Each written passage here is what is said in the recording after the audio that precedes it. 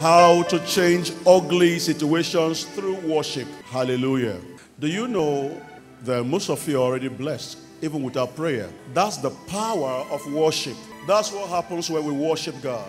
In life, there will be many times you will face ugly situations. We don't pray for it, but they will come. Sometimes they come from the enemy, but whatever be the case, our God has the capacity to turn it around. He said, God inhabits the praises of Israel. And we are the Israel of today. By adoption, we have been engrafted into the family of Jacob. Second Chronicles chapter 20, beginning from verse 21. He appointed singers unto the Lord, and that should praise the beauty of holiness as they went out before the army, and to say, Praise the Lord, for his mercy endureth forever. Read with me verse 22. And when they began to sing and to pray, what did they begin to do? They began to sing and to praise. In the midst of trouble, you have been praying. Prayer is good. Worship is great. But worship and the word is great. Very, very great. Plus worship plus the word equals to victory.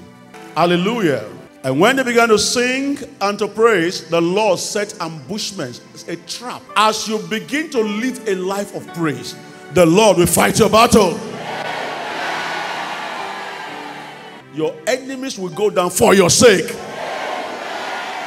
For the children of Ammon and Moab stood up against the inhabitants of Mount Seir, utterly to slay and destroy them. And when they had made an end of the inhabitants of Mount Seir, everyone helped to destroy another. What he says, is as they began to praise, God went into action. The enemies began to fight themselves. From this night, there will be commotion in witchcraft covens.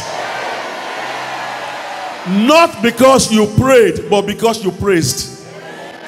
Say, I will praise God. Prayer is most times selfish, but worship is selfless. Because in worship, you acknowledge Him. In prayer, you acknowledge yourself. I don't know what you're facing in your life, but this is the solution. Trust me as I tell you this. This is the way out. Say, I have found the way out at last.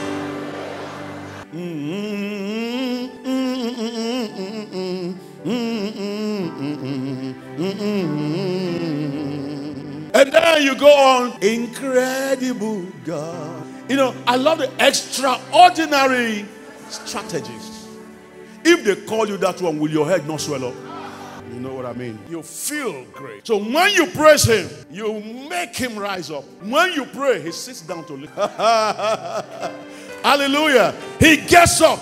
He said, Who is calling me there? You don't know how to play. You know, the Igbos have a very powerful worship and praise. Now listen, do you know how to play that oja? Do it, let's see. You know how to do that? Just just a few seconds and let me preach and then we go. You were hiding. Come and do it.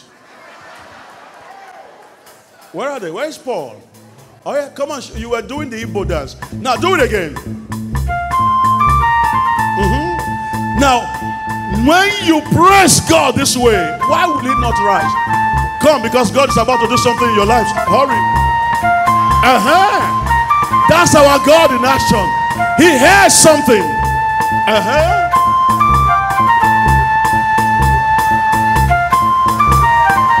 Somebody give the Lord a shout. Yes. Let's praise him. Let's praise his God.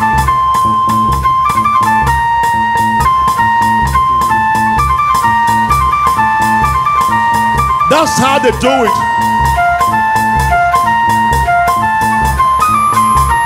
Okay, thank you. Hallelujah. Hallelujah. Now, I just used two of you as examples, but let this be the life you live all the time. But I'm showing you what God can do when you learn to praise Him. You know what? When you begin to dance, you forget your problem.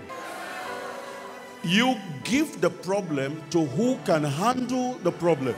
The question is this what can you do on your own? Nothing. Nothing. So you just learn, God, this is overwhelming. but it's not beyond you. I'm giving it over to you. That's why for two Sundays, I wanted, I, I try to teach you that you should equally learn how to address your problems with worship, not just prayer every day. You've gone to how many camps? Nothing has changed. Now go to the true camp, the camp where you and God will settle the matter. You wake up in your room and you say, Father, I prayed, I didn't get answer, but now I'm going to dance. I will worship you until you move. The armies of Moab and Ammon turned against their allies from Mount Seir and killed every one of them. Why? Praise. And they destroyed the army of Seir. They began attacking each other. 24. So when the army of Judah arrived at the point, at the lookout point in the wilderness, all they saw were dead bodies on the ground. Did they fight? No. Who did the fight? God. Why did God do the fight? Because they praise Him. If you can thank Him for yesterday, you secure tomorrow. You want you are crying about tomorrow. You don't know whether Jesus will come today. This is the day you have. Celebrate it. Enjoy your today while you are hoping for a better tomorrow. Let's go back there. Thank you. Not a single one of the enemy escaped. As you praise Him today, those who have fought you since you were born, they will not escape your fire. Those who shouted a better amen is happening for you now. Verse 25 King Jehoshaphat and his men went out to gather the plunder. They found vast amounts of equipment, clothing, and other valuable more than they could carry. There was so much plunder that it took them three days to collect it all. Give the Lord a big clap, offering. Hallelujah. Verses 29 and 30, let's read that and then we move on. When all the surrounding kingdoms heard that the Lord Himself had fought against the enemies of Israel, the fear of God came over them. Lift up your head. From today, when the wicked sees you, they will be afraid of your God. May our God strike fears in the heart of our enemies in the name of Jesus Christ. Verse 30. So Jehoshaphat's kingdom. So Pastor Chris's ministry. So Pastor Chris's business was at peace. Say my life at peace. Marriage at peace. Everything about me at peace.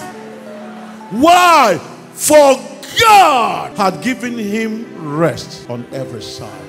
Lift up your head in your business, in your marriage, in every part of your life. My God will give you rest. You shall have rest. Thank you, Lord. I love Jesus. So, how do you praise and get results? Number one, by faith. By what? Faith. By faith in God. If thou canst believe, all things are possible to him that believe it. Give me a newer translation here of anything. All things are possible. He said, when so what do you mean? I can. If I can, Jesus asked. Anything, somebody say anything, is possible if a person believes. Your breakthrough is possible I, want you to be sure you are here on Wednesday when I'll be talking about part two of why you should not lose hope. Sometimes God has to hide you for a while. And if you don't know how He operates, you think that your hiding period is your failing period. When it was not time for Moses to show up, where did God hide him? He hid him in the house of those who needed to kill him. So his enemies paid for his school, trained him until it was time. If you are clapping, you don't have leprosy, clap it. Clap. Do you know why? Those lepers are crying, Lord, if I can have fingers, I will clap for you every day. So if you have full fingers, clap for the Lord. And give him a shout if you care there. Hallelujah.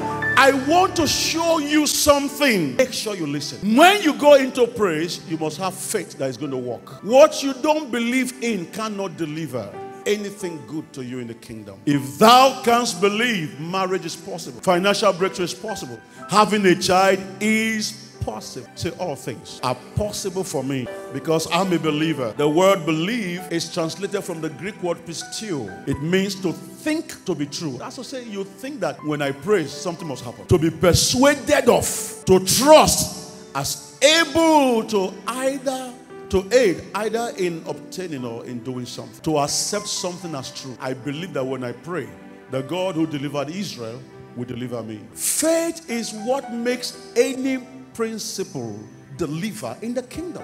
In Matthew 9, verse 29, he said, according to your faith, so be it unto you.